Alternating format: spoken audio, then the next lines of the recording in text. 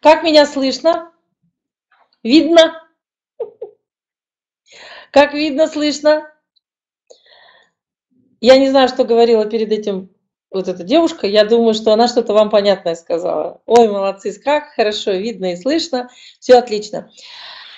Ой, вы знаете, я тоже как бы сегодня испытываю большое волнение, потому что того доктора, которого вы сейчас послушаете, я знаю ее очень давно. Ну, больше 15 лет, наверное доктор, который для меня открыл, утвердил во мне ту веру э, гармоничного строения нашего тела. Несмотря на то, что основная ее специальность, которую мы сейчас заявили, гастроэнтеролог, э, это Имщикова Наталья Васильевна, город Караганда, врач, которая не понаслышке знает, что такое главный тракт в нашем человеческом теле, желудочно-кишечный тракт, она еще и востоковед она еще специалист по рефлексотерапии. Она долгие годы э, практикует э, метод Фоля, и именно он в ней тоже э, возобно... утвердил понимание важности всей той практикой, которой мы сейчас, в принципе, все занимаемся. И Наталья Васильевна сегодня вам расскажет о своей влюбленности, во-первых, в то дело, которое она делает, а, она вообще золотой директор у нас в компании. Она не понаслышке знает, что такое БАДы. Она расскажет о своем предпочтении. Но она еще и практикующий доктор, доктор, который работает в детском отделении. И когда Наталья Васильевна мне рассказывала о тех ребятишках, которые находятся в отделении, о тех проблемах, которые, с которыми она сталкивается. И самая главная проблема, она сегодня об этом скажет, это родители детей. Как не горько было бы слышать, что действительно все родители хотят, чтобы дети были здоровы, на самом деле абсолютно не так. И вот она э, поделится с этим с вами. Я не хочу забирать ее время драгоценное. Она волнуется, я вам честно хочу сказать, как все, и мы, когда первый раз прикасаемся вот к такой, такому способу изложения информации. Потому что врач, в принципе, не выступает перед камерами, никто его не снимает, выполняет свое дело. Поэтому э, я думаю, что вы не останетесь равнодушными, вы будете поддерживать, э, вы будете разделять и, естественно, будете высказывать, э, задавать свои вопросы по окончанию того материала, который она сейчас вам с любовью, с нежностью, вот с тем, с той душой а, донесет до каждого из вас. И э, я думаю, что вы действительно останетесь равнодушными, потому что это очень милый, это очень добрый человек, очень мною многоуважаемый человек. Итак, встречайте Ямщикова Наталья Васильевна, город Караганда.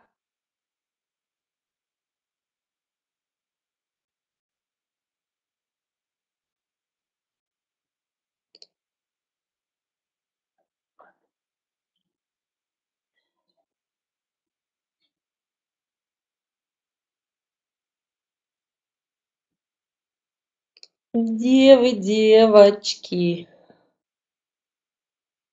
Девы, девочки. Всем, вы меня слышите? Добрый вечер вам из Караганды.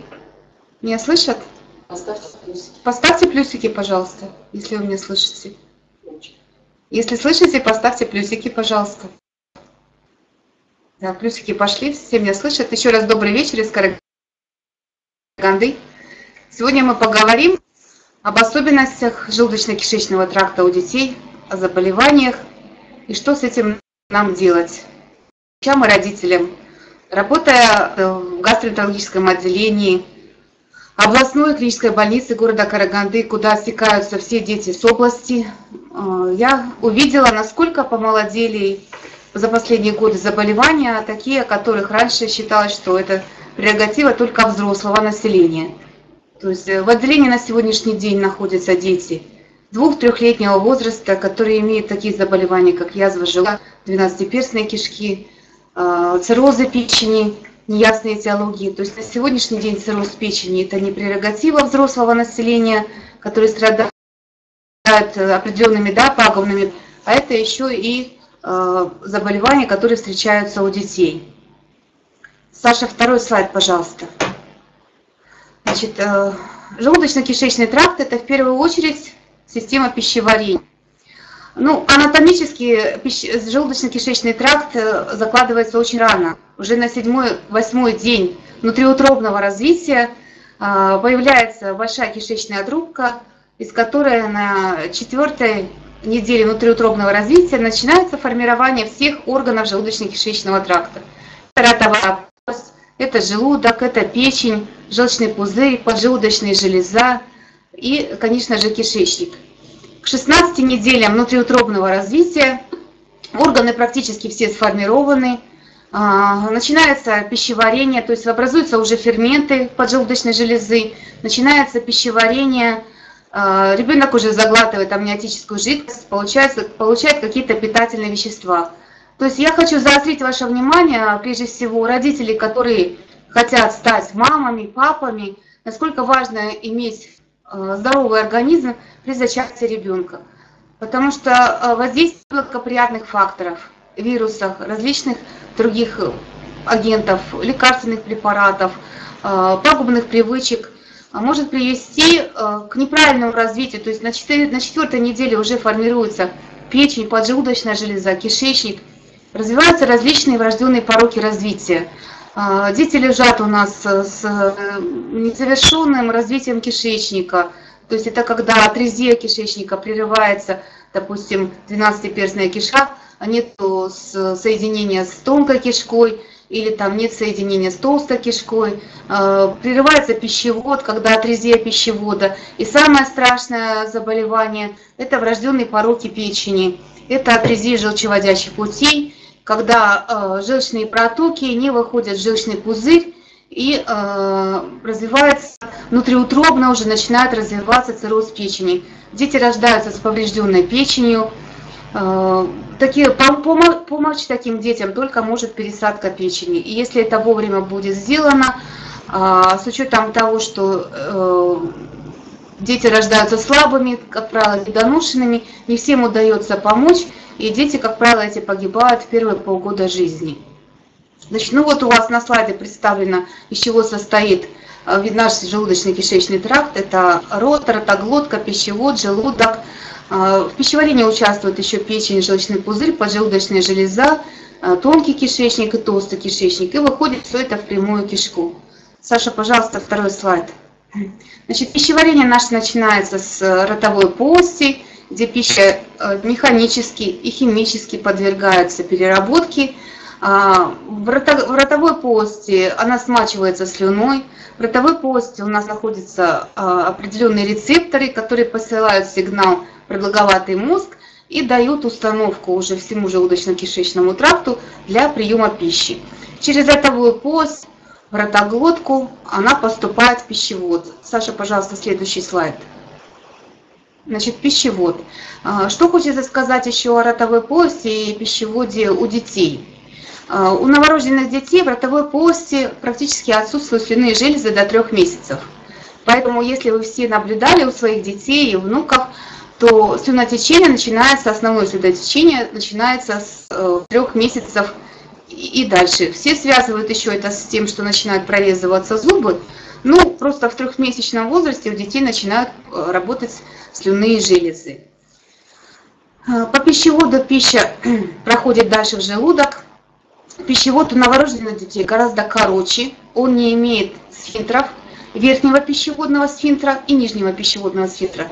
Для чего нам нужны верхний и нижний пищеводный сфинктер? Верхний для того, чтобы пища назад не забрасывалась в ротовую полость, а нижний для того, чтобы из желудка она не переходила потом назад в пищевод. У детей, к сожалению, этих пищеводных сфинктеров нет, они еще не сформированы, они еще не закрываются как положено.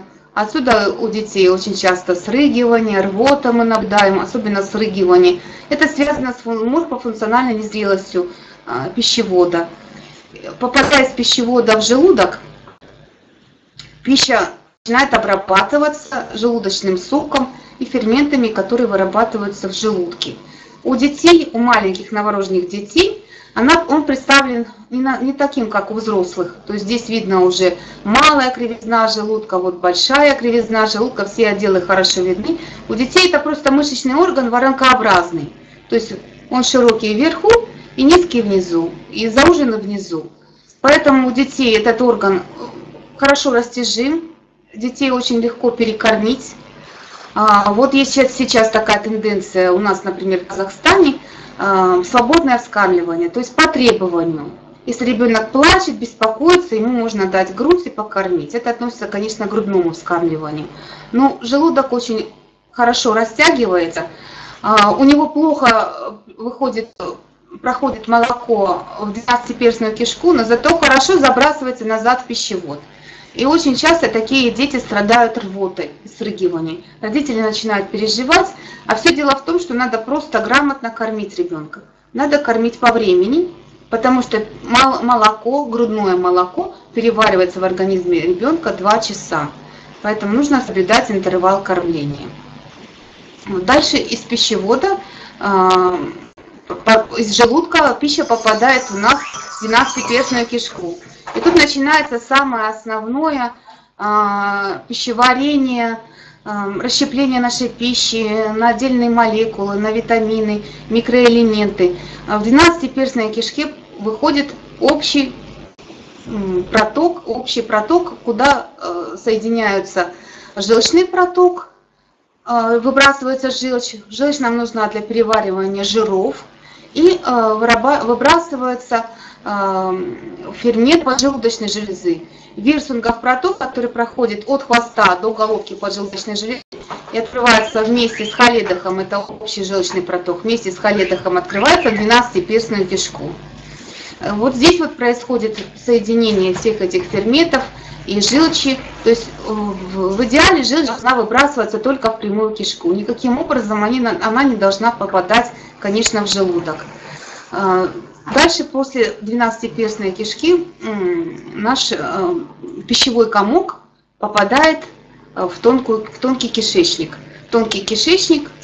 В тонком кишечнике происходит полное расщепление для однород, до однородной массы нашего пищеварительного комка образуется такой однородный химус, и э, в результате из этого э, однородного пищевого комка всасываются в тонком кишечнике основные витамины, микроэлементы, все питательные вещества.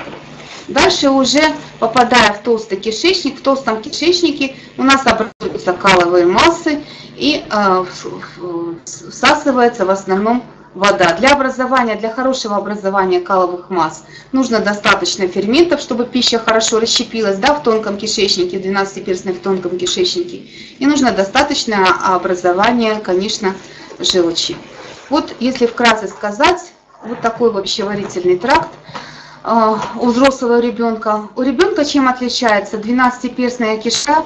Она еще полностью не сформирована, нет хорошей складчатости и э, переход между желудком, желудком и двенадцатиперстной кишкой, он как бы открыт. Вот этот разник, он может зиять.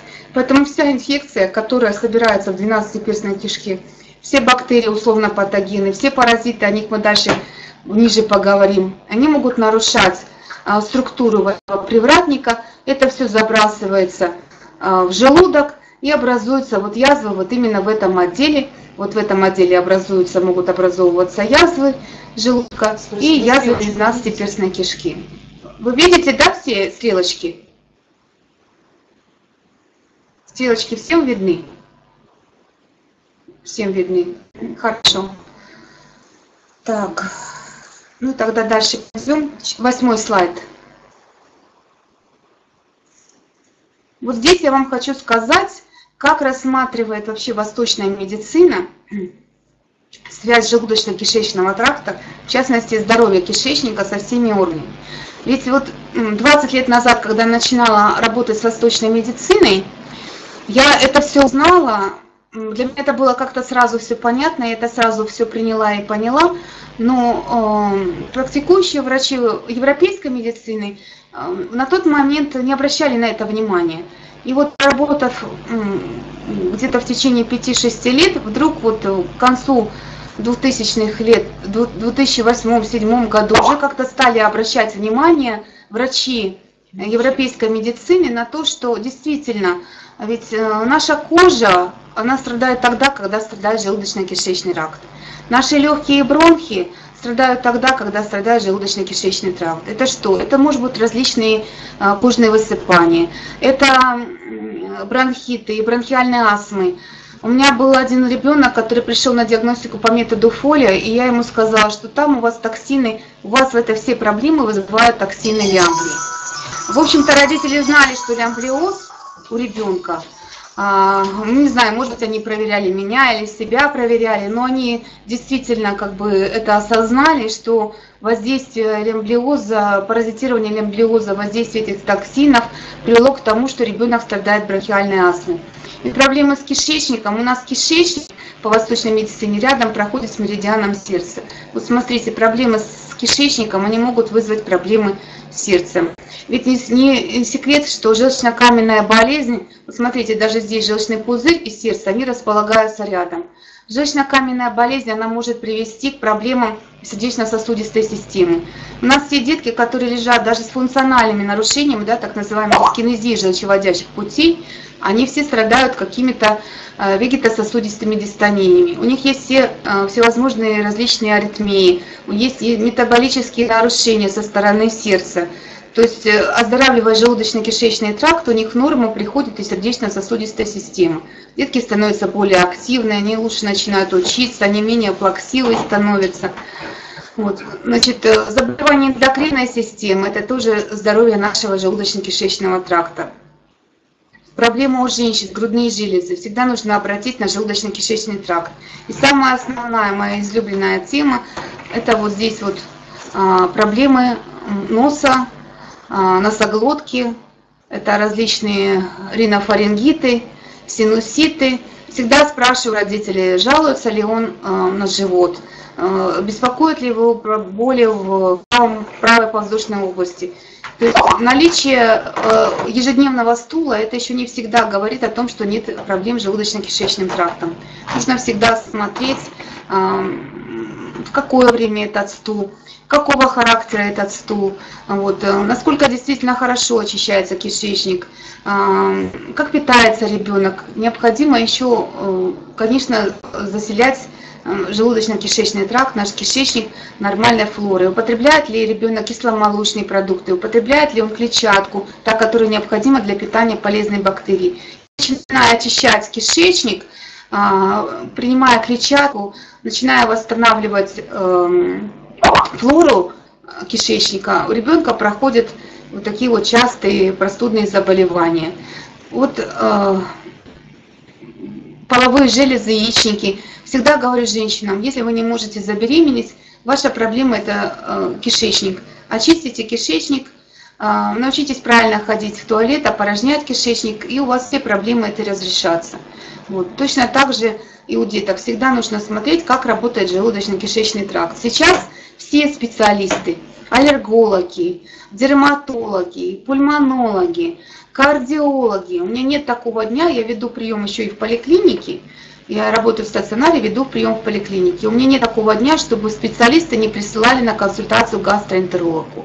Вот, и, в общем-то, в принципе, сейчас все врачи это знают и работают грамотно с детками, с пациентами. Не всегда, правда, это понимают родители, вот, ну, с родителями нужно, конечно, в этом плане работать, и все должны понимать, что наше здоровье – это прежде всего здоровый желудочно-кишечный тракт. Так, ну, пожалуйста, следующий слайд. И сегодня мы поговорим о непрошенной гости в организме наших детей. Это лямблии. А, не настолько а, паразитов достаточно много различных. Я выбрала лямблиоз, потому что я хочу именно сказать свое видение по этому поводу, эм, рассказать вам, какие проблемы могут быть у детей различного возраста, потому что в разном возрасте это разные проблемы, которые могут быть ассоциированы с паразитированием лямблиоза. Лямблия была описана достаточно давно, в 1859 году, э, русским ученым лямблиозом. И э, соответственно, заболевание так называется. Представлено это э, простейший микроорганизм в двух формах. Это вегетативная и цистная форма. А, вот она такая красивая, вы здесь видите перед собой. Это одноклеточный а, организм, который не имеет даже, в принципе, в своем составе достаточно вот, и ядра, и ротового аппарата у нее нет. Она присасывается присосками, которые у нее здесь есть, две присоски а, к, к, к стенке кишечника и э, таким образом сосет питательные активные вещества. Передвигается с помощью жгутиков. У нее вот есть с каждого конца по 4 жгутика, то есть у нее парные жгутики. Ну, э, о том, где она находится вообще в организме, до сих пор еще ведутся споры. Но чаще всего она локализуется в 12-перстной кишке. Вот там, где мы показывали, где выходит проток желчного пузыря и поджелудочной железы.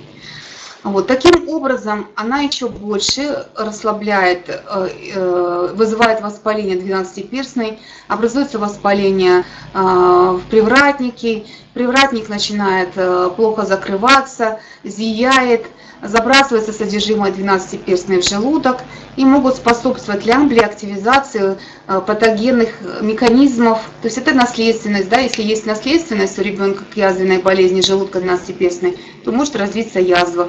А, если есть наследственное заболевание печени, то развивается заболевание, заболевание печени.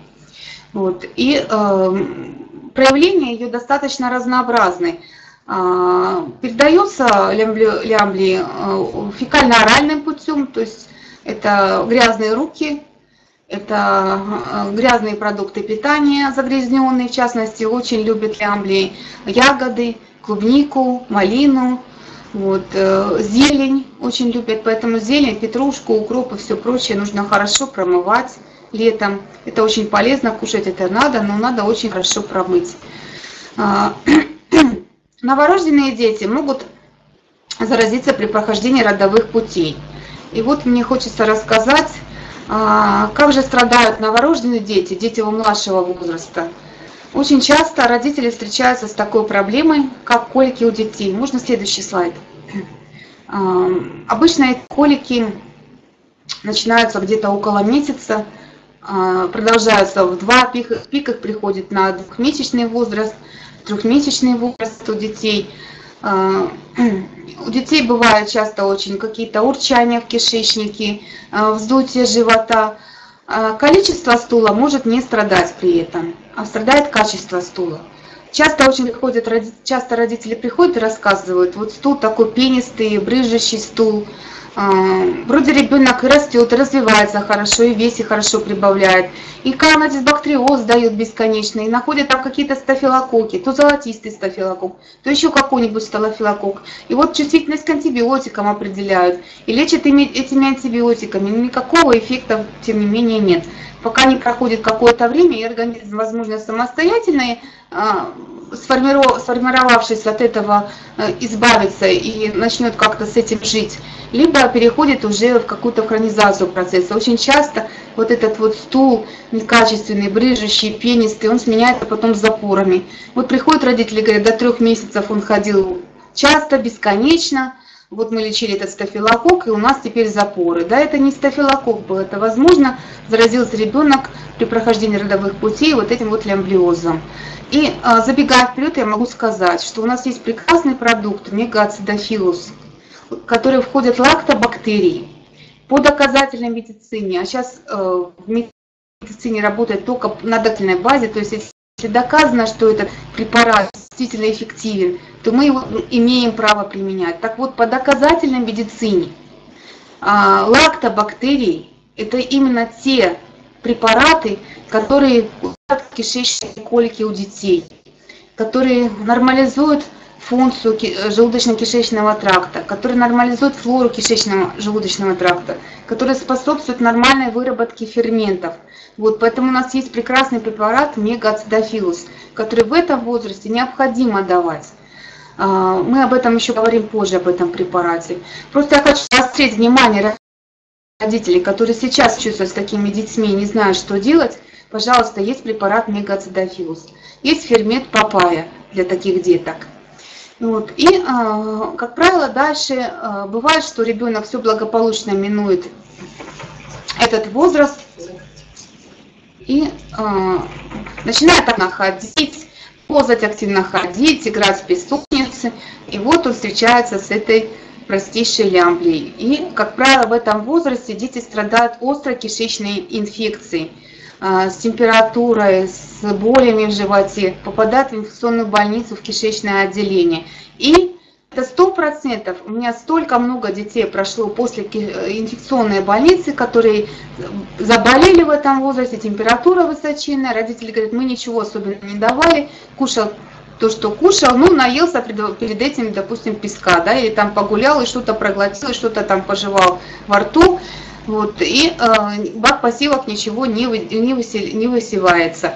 Ну, как правило, у таких детей э, все равно Э, нормализуется потом чистота стула, нормализуется температура, выписывают их с инфекционной больницы, пролечив антибиотики, но остаются у них последствия, да, то бывают запоры, то поносы, э, в анализах крови, как правило, это бывает изинофилия, вдруг начинаются какие-то аллергические проблемы, там кожные высыпания. Вот это дети страдают таким вот э, нашего возраста, когда вот они начинают в детский садик ходить, активно общаться, да, играть на улице. Дальше, если это все не пролечено, живет себе лямблия в организме, и уже к школьному возрасту ребенок а, начинает четко понимать, что у него боли в животе. Иногда он просто говорит, я хочу полежать после еды. Сталкиваются родители повсеместно с этим.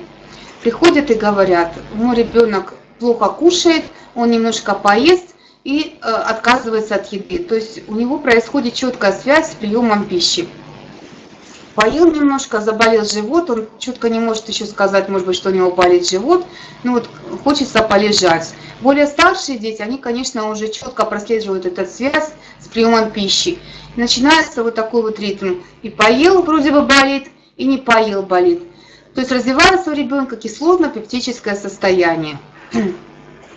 Когда э, развиваются морфологические изменения, то есть это уже страдает слизистая, желудка и двенадцатиперстной, когда развиваются эрозивные гастриты, язвенные гастриты.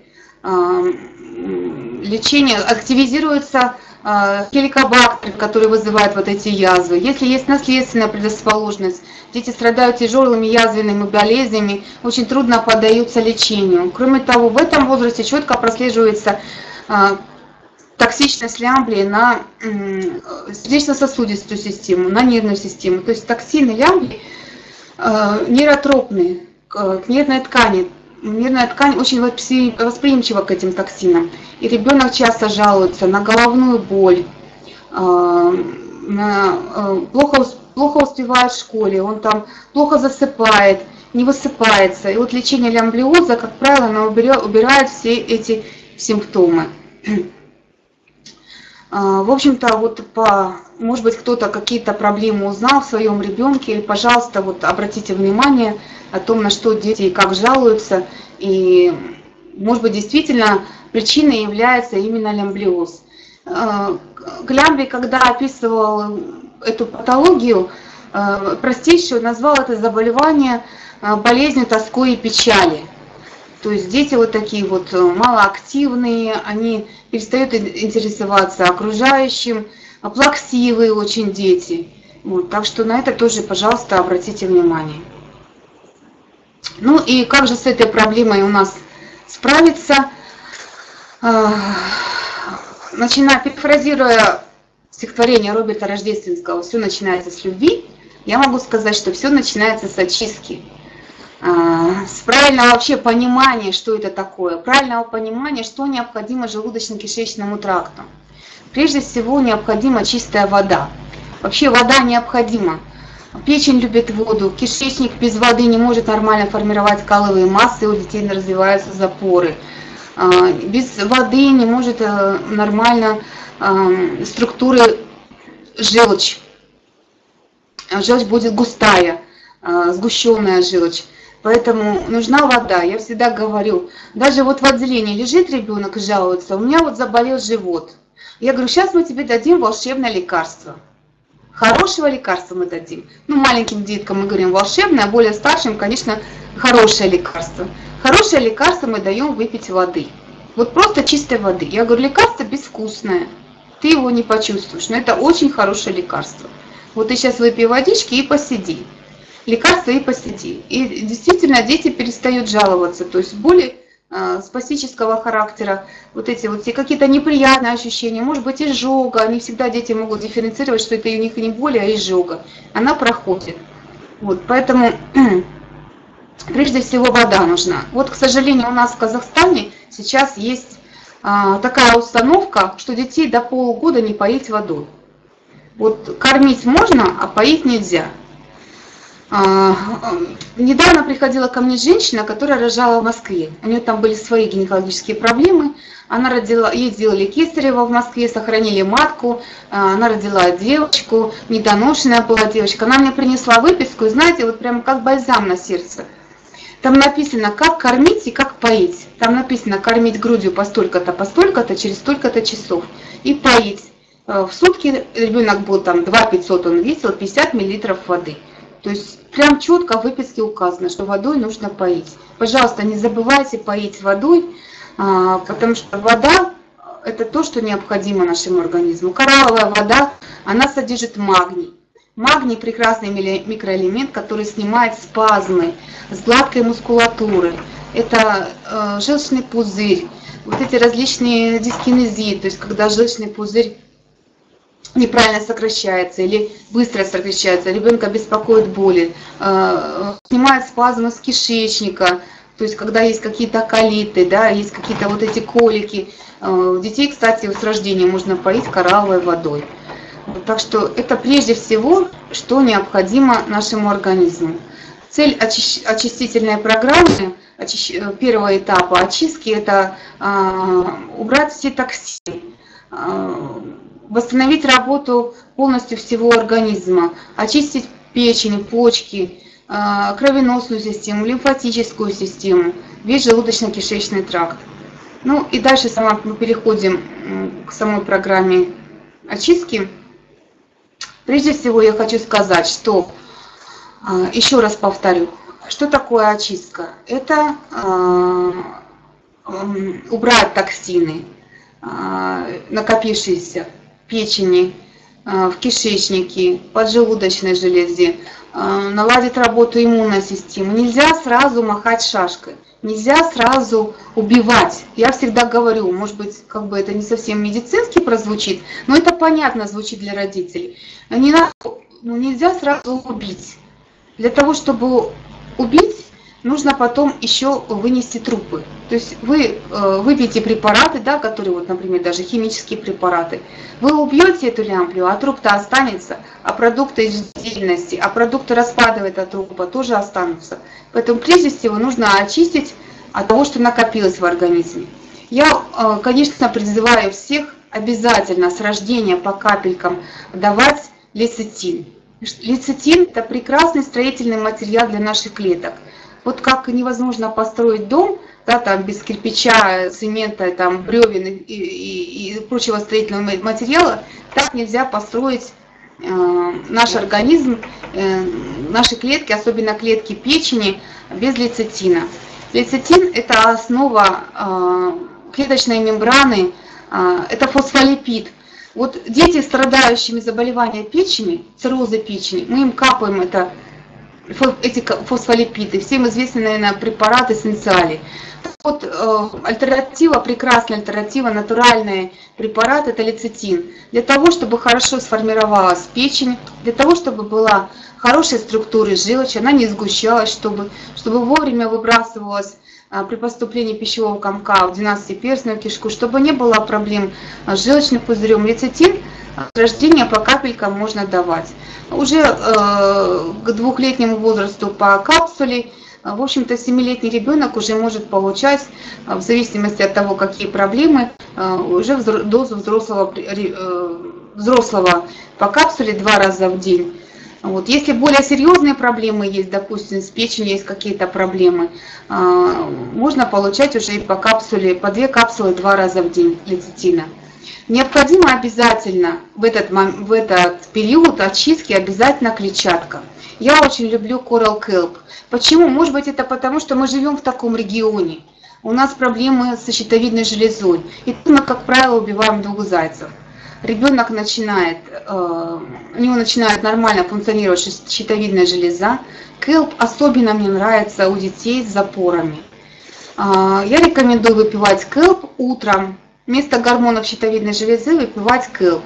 До 7 лет одну капсулу в день, после 7 лет уже две капсулы утром натощак, запить хорошей чистой водой, э, коралловой водой, стаканом коралловой воды. И дети, как правило, начинают регулярно ходить в туалет, потому что келп, он как эм, ёршик, хорошо чистит кишечник. Кроме того, э, дает хорошее питание всем полезным бактериям. И в этот момент э, необходим прием, конечно, ферментов. Ферментов большой выбор, но я сама, честно говоря, очень люблю папайю, э, сама ее принимаю, и всем рекомендую, потому что папайя – это монопродукт, и, в общем-то, а, для маленьких детей, когда нет необходимости, ну, мы не очень любим прием а, достаточно а, широк, как, где много, большое количество содержится различных да, ферментов, можно назначать, вот папайя до трех лет, это прям смело можете назначать. Там маленьким деткам по одной четвертой, Э, три раза даже в день, ничего страшного не будет. Ведь с рождения крион, э, синтетический препарат, который э, фермент синтетический, который еще и выделен с поджелудочной животного происхождения, он мы назначаем и там по 5 тысяч три раза в день, и по 2 тысячи три раза в день. То есть мы назначаем этот фермент и не боимся. И папаю здесь бояться не надо. То есть есть кишечные колики, пожалуйста, папайя, а, мегацидофилус, лецитин, и ваш ребенок будет расти здоровым. Водичка, коралловая вода, ваш ребенок будет расти здоровым и вам будет благодарным. Очень люблю препарат Дигестебо. Вот в моей практике а, я его применяла у детей, которые страдают долихосигмой. Долихосигма – это удлиненный, это врожденная форма особенности кишечника. Это на сегодняшний день не считается каким-то серьезным заболеванием, если только не требует хирургической коррекции. Это особенности кишечника. Он длинный и широкий, и дети плохо ходят в туалет. Вот сочетание лецитина, а, келпа и дигестейбл дает прекрасный результат. Э, детей перестает болеть живот, они хорошо ходят в туалет. В этот же момент если ребенок страдает эрозивно-язвенными проблемами желудочно-кишечного тракта, а эрозия и язва у нас встречаются не только в желудке, если в толстом кишечнике эрозивный колит, дополнительно можно рекомендовать алоэ манан. Алоэ – это прекрасное ранозаживляющее средство, которое стимулирует регенерацию слизистой желудка и кишечника. То есть вот сочетание, пожалуйста, комбинировать препараты можно по проблемам э, ребенка. А, обязательно должен быть прием лецитина, обязательно должен прием быть гепатопротекторов. Это может быть и алоэ манан, это может быть артишок. И обязательно должны быть ферменты. Если есть сильные проблемы с кишечником, ребенок уже более старшего возраста, можно, конечно, э, использовать препарат крушины, можно использовать препарат каскары. Это э, подготовительный этап, как правило, должен длится не менее двух недель. Я вам скажу даже так, официальная медицина для лечения лямблиоза использует тоже трехэтапную, э, трехэтапное лечение. Первый э, этап это тоже очистка, но они используют химические препараты, такие как крион, там, допустим, там, снег тоже назначают. У нас есть прекрасные средства альтернативы, э, выбор достаточно широкий. И вот я еще раз сказала, что папайю прекрасное с рождения средство можно. Дигестебо препарат, который для, для детей э, с проблемами стула. И э, из личной практики я могу сказать, что ассимилятор, фермент ассимилятор, очень хороший у детей маловесных. Вот почему-то ассимилятор, э, применяя у детей, которые плохо кушают, которые плохо набирают весе, у них восстанавливается аппетит, они себя прекрасно начинают чувствовать, поэтому здесь нужно выбирать. Эм, кому-то, может быть, эм, ассимилятор, особенно, я говорю, детям маловесным, очень хорошо, видимо, может быть, в такой, эм, в такой структуре, в таком составе, как-то вот ассимилятор именно работает у таких детей. Две недели должна длиться не меньше двух недель. Две-три недели – это э, очистка организма. Дальше переходим ко второму этапу. Это этап восстановления. Вот следующий слайд можно показать. Ой, извините, противопаразитарная программа. Да, противопаразитарная программа. Здесь мне хочется уделить внимание препарату, э, конечно, э, Апистоп. Это э, препарат, который на основе осины, прекрасное средство для лечения простейших. Это амебы, это лямбли, вот, очень хорошее средство. Здесь, пожалуйста, тоже на выбор. И все это можно сочетать обязательно с лецитином. А, в эту программу, в противопаразитарную программу можно продолжать прием и даже нужно ферментов. А, вот лецитин я вам рекомендую все-таки, настойчиво рекомендую принимать все три курса. То есть это и очистка, это противопаразитарная программа, это и э, этап восстановления. Вот, э, пожалуйста, детям более старшего возраста у меня есть э, практические наработки применения чеснока при эрозивно-язвенных процессах, при язвах желудка на этапе восстановления. Для того, чтобы не было рубцевания язвы с деформацией, а ведь язва еще может зарубцеваться, деформировав привратник. И э, такие дети были у меня, э, взрослые дети, которые не лечились, у которых э, не вовремя диагностирована язва, она бессимптомно протекала. Они поступают уже в тяжелом состоянии, когда у них пища не проходит из желудка, 12-перстную кишку. И у них бесконечная работа, они очень худые, истощенные. И вот прием э, чеснока очень хорошо препятствует э, это, деформации луковицы 12-перстной кишки, потому что именно целенаправленно заживляет вот, э, язвочки, эрозии в желудке.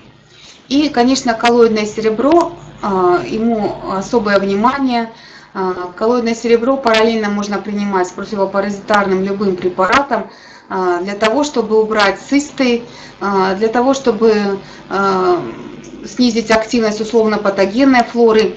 Принимается также с рождения, можно, если есть какие-то проблемы действительно выраженные с пищеварением, можно начинать с капелек коллоидное серебро принимать. Паударка прекрасное иммуномодулирующее средство. Э, можно дополнительно назначать детям, которые страдают частыми простудными заболеваниями. Э, все препараты желчегонные, они принимаются еды. Лецитин, он принимается во время еды. Все противопаразитарные препараты рекомендуется приниматься до еды. И вот э, в частности ферменты на первом этапе, я не сказала, на первом этапе, когда э, назначаются ферменты, я бы рекомендовала их принимать до еды с иммуномодулирующей тоже целью. То есть для того, чтобы наладить работу иммунитета, для того, чтобы дать возможность клеткам иммунным хорошо заработать против этой инфекции, Э, рекомендуется принимать за 20-30 минут до еды. На втором этапе противопаразитарной программы ферменты можно уже принимать как до еды, так и во время еды. А, нарушение функций поджелудочной железы и желчного пузыря. Даже официальная медицина рекомендует на этапе э, как бы уже восстановления принимать дважды ферменты принимается во время еды и между приемом пищи. Точно так же и здесь можно принимать эти ферменты. И третий этап, этот этап восстановления. Здесь я еще раз, следующий слайд, Саша, пожалуйста. Здесь я еще раз хочу упомянуть омега-ацидофилусе, э, препарат, который вот просто даже с рождения нуждаются наши дети в лактобактериях, Э, начались колики, начались проблемы со стулом, беспокоится ребенок, вздувается животик. Прям смело мигаться дофилус по 1 четвертой капсулке два раза в день. Уже с полугода можно одну капсулу, года можно целую капсулу давать. А, здесь также обязательно ферменты нужны.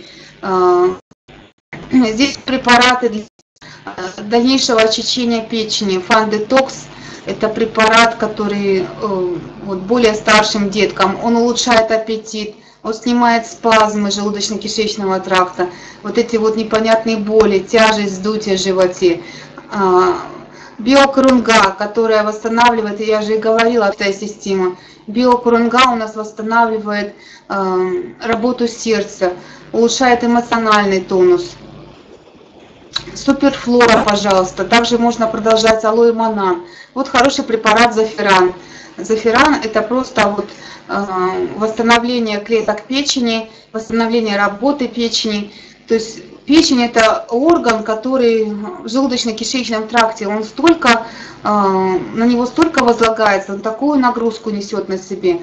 У него очень много функций помимо пищеварения. Поэтому печень нужно восстанавливать обязательно, восстанавливать и восстанавливать. Вот еще хочется сказать о том, сколько пить, допустим, а, сколько, как долго принимать а, мегаацидофилус.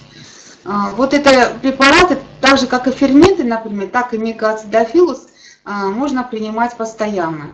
А, дети, страдающие, которые начали страдать проблемами желудочно-кишечного тракта, ограничиться, допустим, месяцем, это очень сложно. Восстанавливать кишечник, э, заселять флорой и пить полезную флору кишечника можно от полугода, как минимум полгода, и до двух лет – вот. В общем-то, это я так вкратце рассказала. Препаратов очень много. Выбор, конечно, индивидуально. Здесь нужно смотреть, э, какие больше жалобы, что преобладает у ребенка, какие больше проблемы. И э, в заключение мне хочется сказать, что у нас есть такая, такой препарат, э, прекрасный программа, программа прекрасная, как Coral Detox. То есть, когда вы уже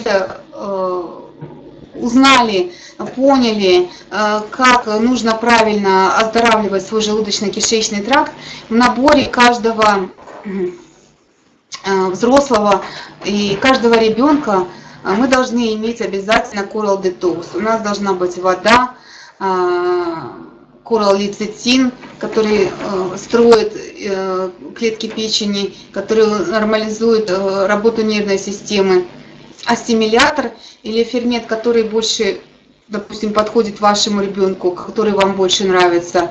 А, это должна быть питание полезных бактерий, это люцерна. И, конечно, а, для того, чтобы никакие а, вредные токсические вещества не попали клетки желудочно-кишечного тракта в том, же, в том числе, это H500. Ну, я бы, может быть, здесь еще добавила, что э, лактобактерии необходимо принимать. И, в общем-то, вот такую программу два раза в год, вот эту программу, которую сейчас мы перечислили, это очищение, противопаразитарная, это восстанавливающая программа, два раза в год желательно проводить. И тогда я думаю, что ваши дети будут здоровы. И э, еще раз хочу напомнить родителям, что здоровье ваших детей в ваших руках. И следующий, пожалуйста, Саша.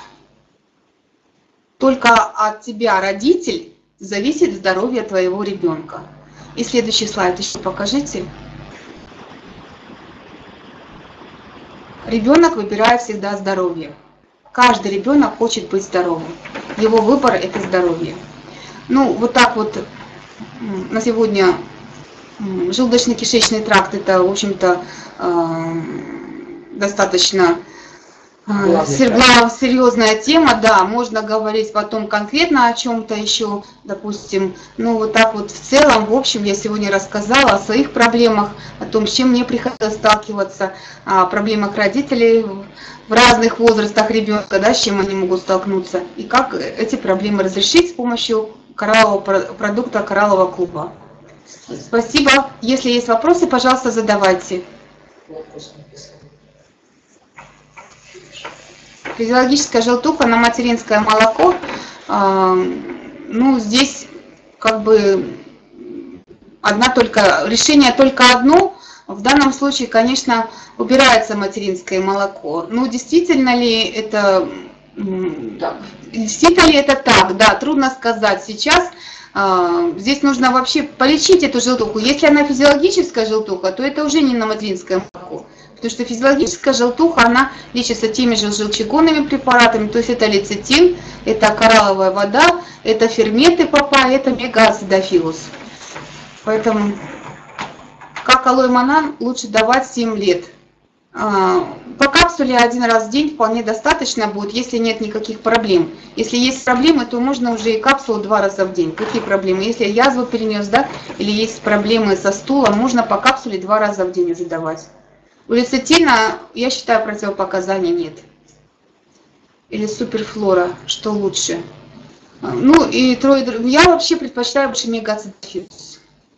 Мегацидофилус, там лактобактерии, они, в общем-то, ребенку нужны с рождения. Золотистый стафилококк. Золотистый стафилококк обязательно должен быть, это Силери Макс. Э, и Силери э, Макс, и здесь, наверное, все-таки чеснок, листья черного ореха. В дальнейшем потом, конечно, поударка, дальше следующим этапом поударка и мегацидофил с ферменты.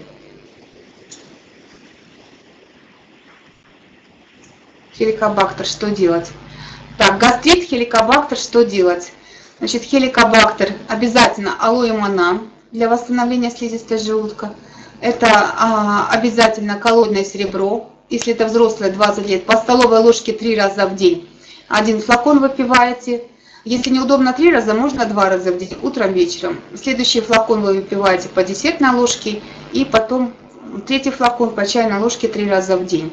И это ферменты, нужны алоэ манан ферменты и коллоидное серебро, очень прекрасное средство, которое действует на хеликобактер. Хеликобактер. Спасибо. Видишь, назад. Мышечку поднять.